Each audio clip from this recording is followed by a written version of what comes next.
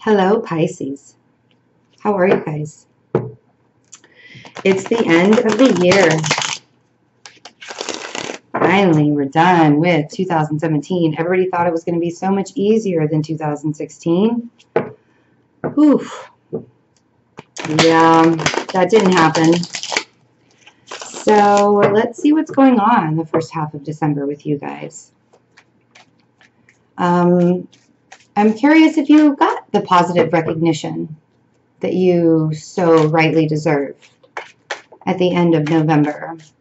It is the 26th of November, so we still have a couple of days left.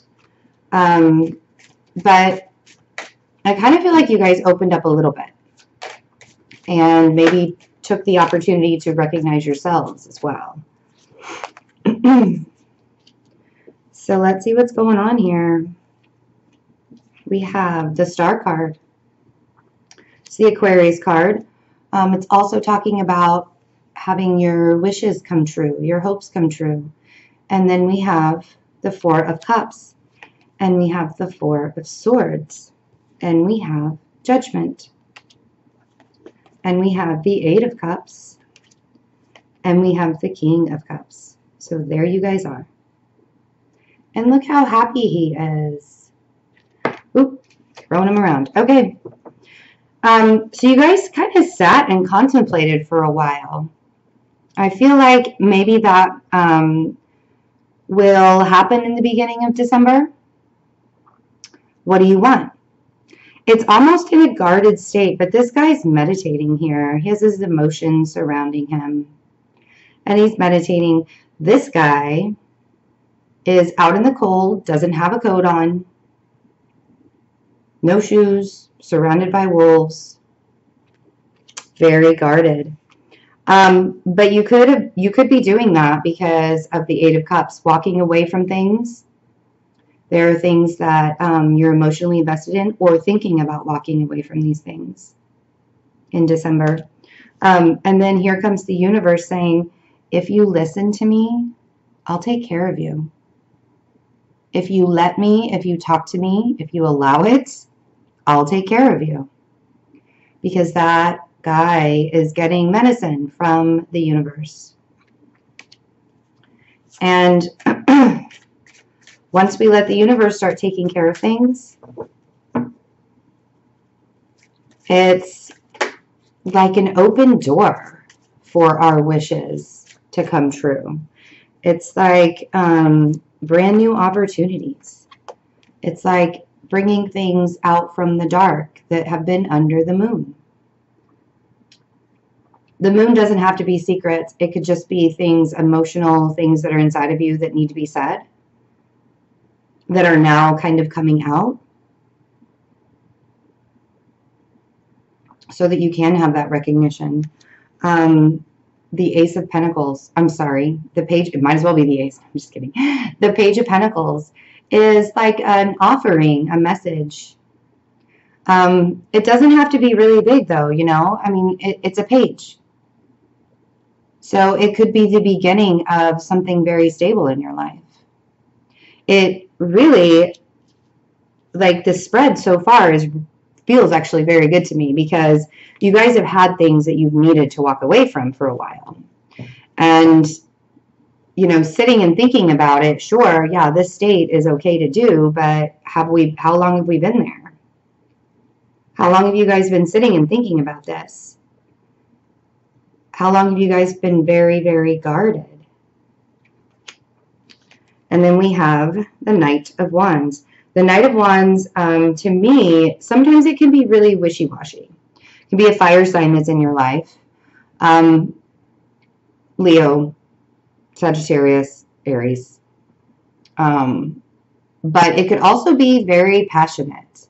You could want to be like charging into something that is really like passionate to you, or it's a very wishy-washy state.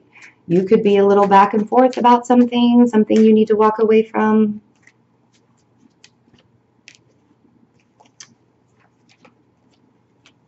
We have the Three of Swords. You guys have really been heartbroken for a while. And dwelling on it, sitting within it. So the first half of November, you're still going to be there.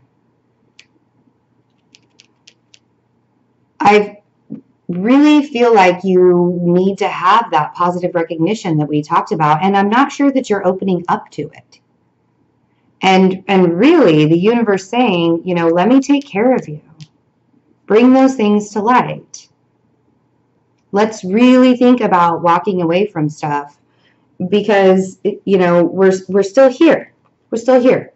Hanged Man, Nine of Swords. We're still here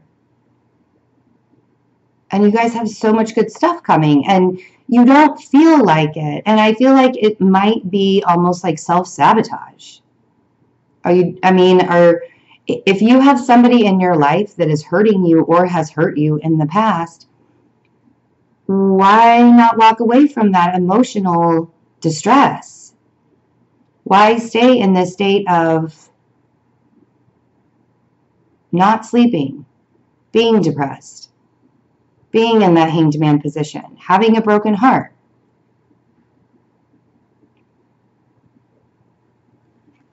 And you want a new beginning. The fool is, you know, this is taking that leap of faith, not knowing what's underneath that. You know, who knows if there's a safety net? But you got to trust. And when somebody is starting to recognize you, when somebody's opening back up to you, or if somebody new comes in and they're opening up to you, but you're still stuck in this state of, and it doesn't even have to be somebody new. It could be like some, you know, it could be a friend that you've, you know, really been close to and connected to for a long time, and everybody's still seeing you stuck. Everybody's still seeing you in this Nine of Swords state. And why? Why? Why are you guys still here? It's hard to walk. I mean, trust me, I walked away from things that I was severe, like, uh, so ultimately invested in. Marriages, strong relationships. And it could be the emotions that are inside of you that you're sitting in that need to be, that you need to leave behind. Not, it, it doesn't even have to be externally. It could be these these things, these emotions, the stuff that you're keeping in the dark, that you're like holding from yourself, that you need to let go. So something can come in because you're feeling awfully stuck right now. And it's very difficult being in the hanged man position for so long. How long have you been in the hanged man position? If somebody is recognizing you, who you are, if somebody truly believes in who you are, whether it be in a relationship, whether it be at work, whether it be in your friendships, it's like you're not letting it come in. You're being very guarded. You're not believing this person. You're not believing these people that you are good, that you are worth it. It's like a it's like a perpetual state of sadness because you've been hurt in the past. Because there's been this cycle of up and down, up and down, and maybe walking away will hurt too. And you don't want to you don't want to deal with that broken heart. You don't want to deal with the broken heart of other people. but isn't that inevitable in life? Doesn't everybody get hurt once in a while? Isn't that the lesson that we have to learn?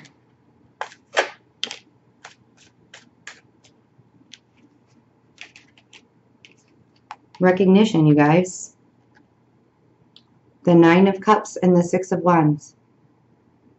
What are you wishing for? What do you need recognition on? Are you getting the recognition? Do you believe that you deserve it when you get it? Because if that's the ideal that you have to walk away from, if that's the thought that you have to walk away from, that work needs to be done because you have great things coming.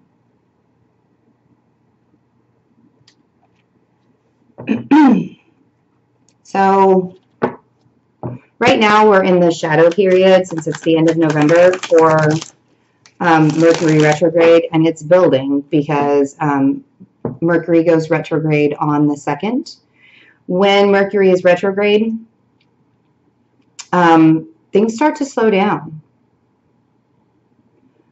The good part of it is you kind of think before you speak because everything's not because Mercury is the planet of communication, of haste, of speed. So you start to slow down. You think before you speak. Everybody else is thinking before they're speaking. But sometimes things don't come out. Especially since Neptune went direct in your sign. Your a ruling planet. When Neptune uh, was in retrograde for six months, things were said. You know, you got to know the true colors of people. Maybe people were blabbermouths and now that's kind of and you guys have like gone back. It's like you got you've gone backwards because you're still stuck.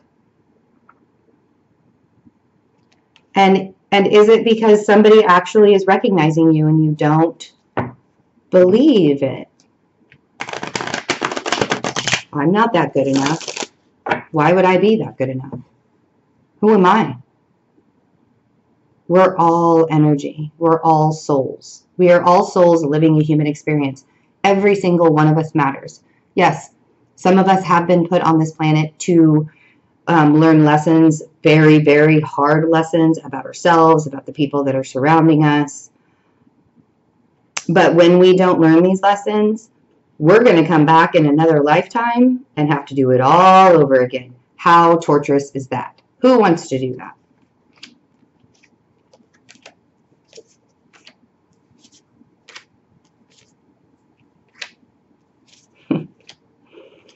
Man.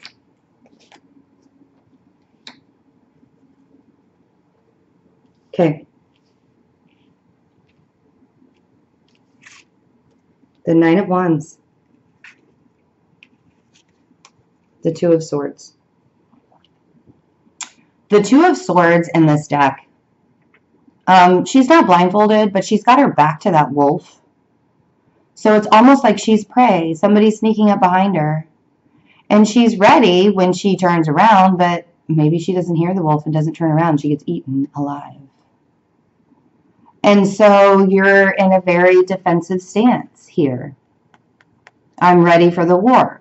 But I don't think you're ready for the war. Because you're in kind of this mode. You have your back turned to it. So when that war comes along,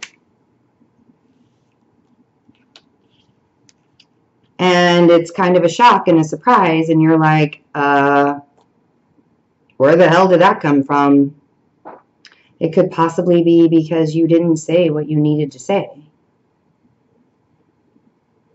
but after that war happens you get to rebuild let's do this you get to rebuild the three of pentacles and the eight of pentacles um, and the three of pentacles could really talk about having like a crew. Sorry, when the energy is really heavy, I start to get like like the burps. It's not even a burp, it's like a hiccup, kind of. I don't know. Um so the three of pentacles kind of talks about like having that tribe that helps you rebuild and then you know then you get to get get get to get that stable ground and you feel a little bit more secure. You're out of the rain. But where's that bright day that you are waiting for, the sun? And the Seven of, of Pentacles is, you know, you've been nurturing this. You've been nurturing this and nurturing this and waiting and waiting for your seeds to grow. And I don't think you believe that that bright sunny day is right around the corner because you're guarded from it. You know, you may be getting recognition from your tribe and you're not listening because you don't believe you deserve it. But why stay in this angsty, I can't sleep at night, I'm so depressed, I'm going to be guarded. I don't want to fight the war. I don't want to fight the battle. I'm too tired. Let me sleep.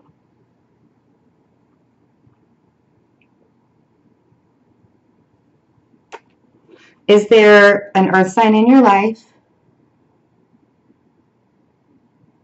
The King of Pentacles. Um, it doesn't have to be a king. It could be a queen. General reading.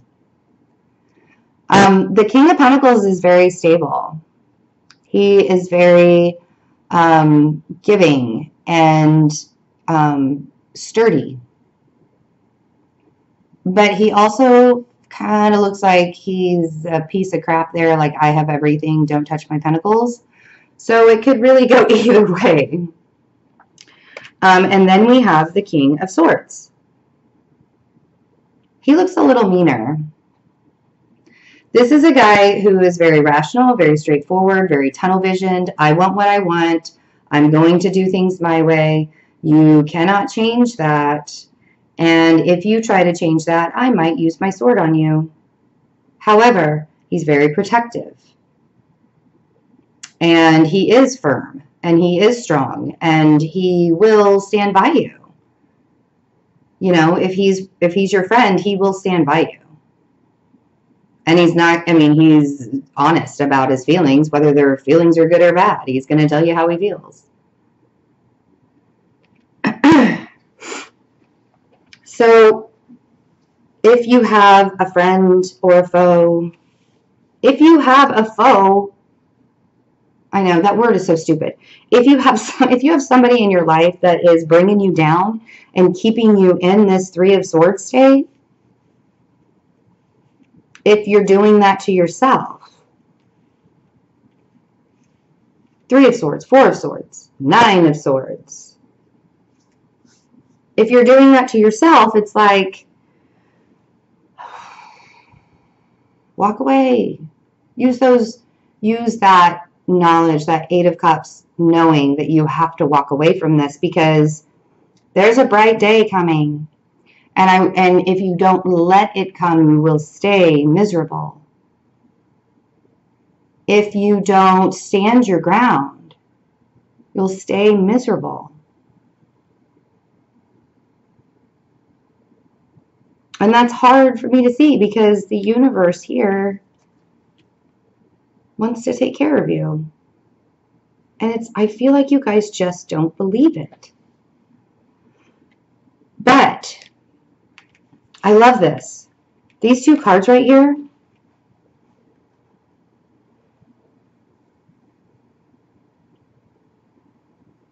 The Nine of Cups and the Six of Wands. This is your reward. This is your gift. And you could already have it and just not see it. Or not, you're not letting yourself see it. Because somebody hurt you. And you don't feel like you deserve it. Or maybe you're just consistently self sabotaging yourself.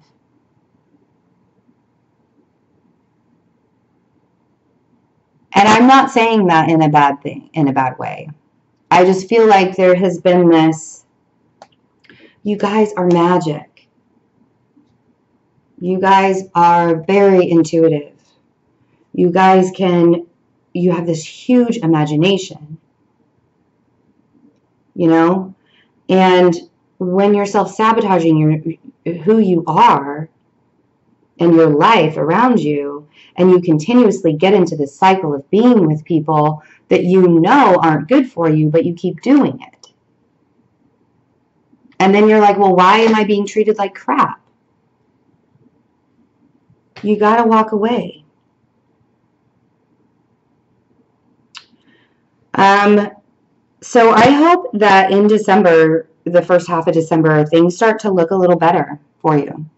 And you start to recognize that you have these wishes. So, um, shop talk really quick. If you want to contact me on the InstantGo app, um, the it's for iPhone users, and you can text me questions, you can call me or FaceTime me, um, and um, I will let you know that I do have downtime. So I'm going to say that the timing is between 15 minutes and it's no longer than 12 hours. So please be patient when it comes to that. Um, I am not up 24 hours a day, and I do have a family. But I love answering the questions, so please take advantage of that. And um, the donations that have come in, thank you, thank you, thank you. This channel would not be able to keep going without those donations. So appreciative. Thank you. Um, and if you would like to donate um, to keep this channel going strong, like it has been, because you guys are fantastic, um, consider donating. The link is also below. The November prices for readings are still there for December. They will go back to regular pricing um, in January. And let's see. Oh, I have a new reading option that I think everybody will be really excited about. I am going to do personal readings for your 2018 forecast for each month. So if you would like to do, look at your 2018 forecast to see kind of what you can expect throughout the months.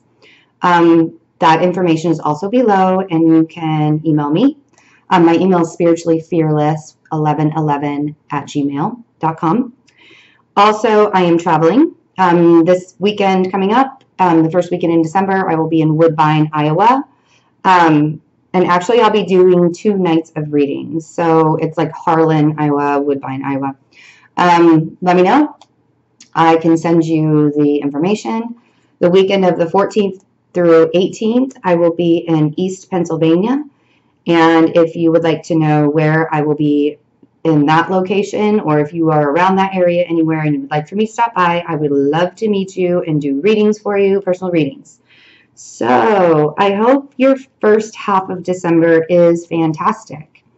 And I mean, it looks kind of like you guys are still working through things, but if you work with the universe, you have really great stuff coming. So I love you guys. Take very good care of yourselves. Bye.